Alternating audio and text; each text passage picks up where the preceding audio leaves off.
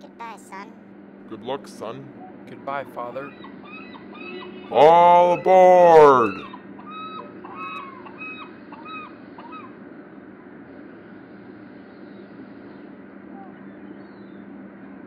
There he goes.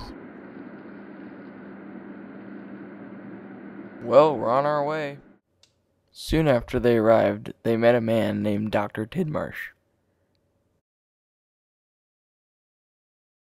Nice to meet you. Soon after they got settled in, they started studying Spanish very hard. Jim's girlfriend Betty decided to come to Ecuador, and they soon would be married.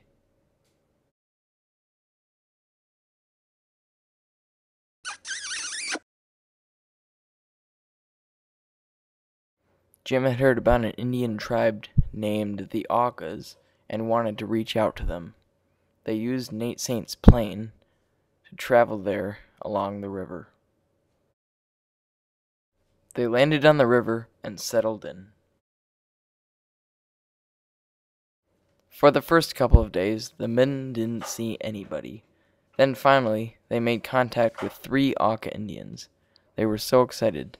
The men enjoyed the time they had with them and couldn't wait for the next day. When they woke up, they didn't see anybody, but they still thought that today was going to be a day to remember.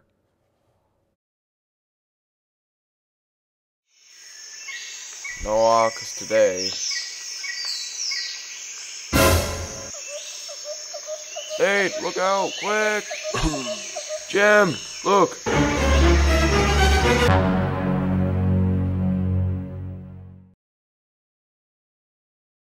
Mm-hmm.